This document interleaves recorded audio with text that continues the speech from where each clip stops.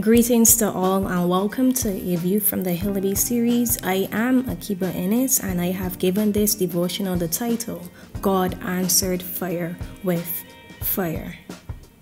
The reading is taken from Daniel 3, which looks at the three Hebrew boys. So basically, they refused to bow down and worship the statue, and as a result, they were thrown into the fiery furnace.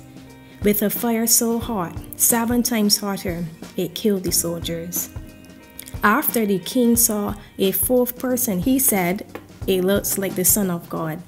And it was. He told them to come out.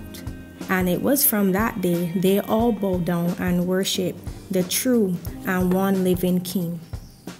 So, when do God use people to show his power? Does he use comfort or trial? Well, in this case, we will go with trial because it is one of God's most used tools. Think about the many stories in the Bible where God used many individuals. For example, he entrusted Joseph, Job, Daniel, Moses, Isaiah, Paul, and many others.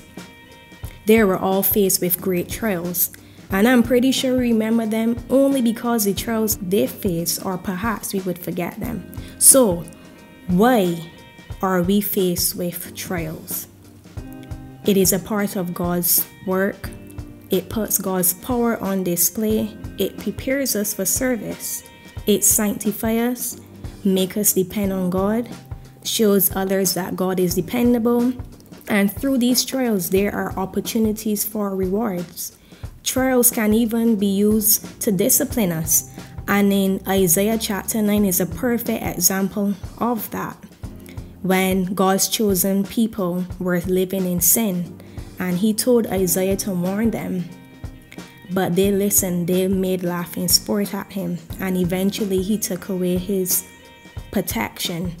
They were suffering, they were discouraged and depressed. But when Isaiah reminded them of the message of hope, they listened he told them, Listen to the good news.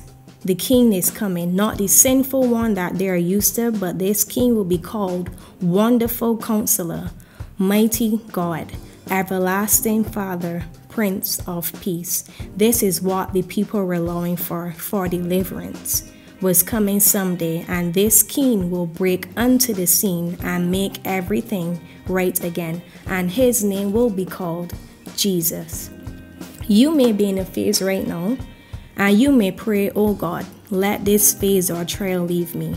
However, the answer is not for it to leave you, but to ask God for the grace to continue this track record because this track record will qualify you for the throne that you are being called unto.